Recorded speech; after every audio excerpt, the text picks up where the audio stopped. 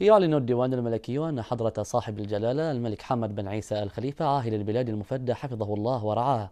سيكون في مقدمة مستقبلي فخامة الرئيس عبد الفتاح السيسي رئيس جمهورية مصر العربية الشقيقة والوفد المرافق. لدى وصوله إلى البلاد اليوم الخميس الموافق للتاسع والعشرين من شهر أكتوبر الجاري في زيارة أخوية لمملكة البحرين. ويجري فخامته خلالها مباحثات مع جلالة الملك المفدى تتناول العلاقات الأخوية الوثيقة القائمة بين البلدين والشعبين الشقيقين إضافة إلى آخر التطورات والمستجدات الراهنة على الساحتين العربية والدولية. وينتهز الديوان الملكي هذه المناسبة ليرحب بضيف البلاد الكريم والوفد المرافق متمنيا لفخامته طيب الإقامة في بلده الثاني مملكة البحرين.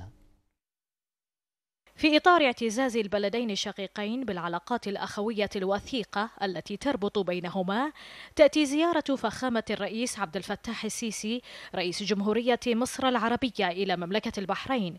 في سياق جولة يقوم بها الرئيس المصري في عدد من دول المنطقة. زيارة تحمل معها ما يجمع بين قيادتي وشعبي البلدين الشقيقين من روابط مشتركة وعلاقات مميزة إضافة أنها تعد تعبيرا عن اعتزاز الجمهورية